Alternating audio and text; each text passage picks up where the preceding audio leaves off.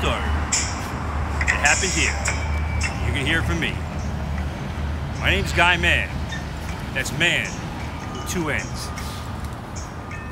We're at Abingdon Square Park, Greenwich Village. It's called a square. It's actually a triangle. I learned that from watching these videos this guy Phil Stein puts on YouTube. Very informative. Just that he's a pain in the ass. He keeps asking everyone to join his YouTube channel.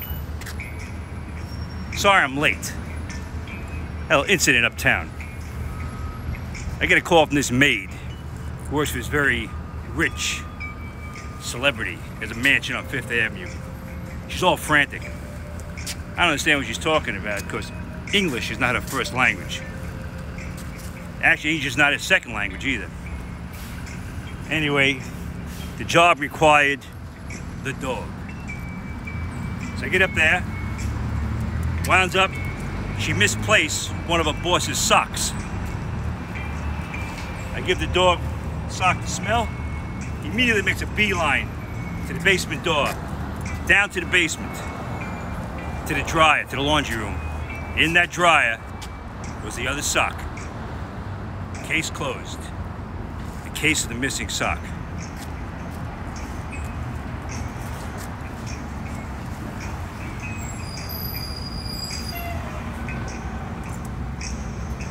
It was a hot July day. I'd say about 10 years ago. The incident happened right out here, right outside of Abingdon Square Park. This dude decides to tie up his dog to the fence outside the park here and leaves. A local dog walker sees the dog tied to the fence, stays about five to ten minutes, notices no one coming back. He calls his lady down the street, who happens to be a pug rescue organization. Tells there's an old pug here tied to the fence. Can you come and get her? She comes down a little while later, takes the dog back to her house. A little while later, the couple comes by whose dog it belonged to. The wife is furious. The husband's claimed they only had the dog tied up for five minutes.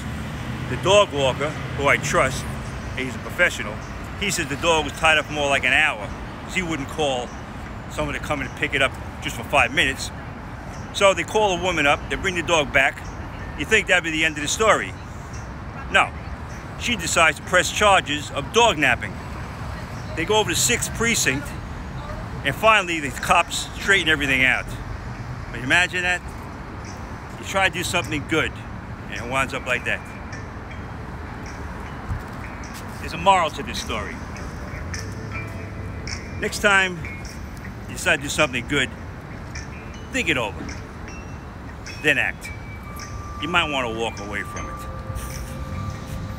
Until next time, I'm out of here. Keep your nose clean. Come on, dog.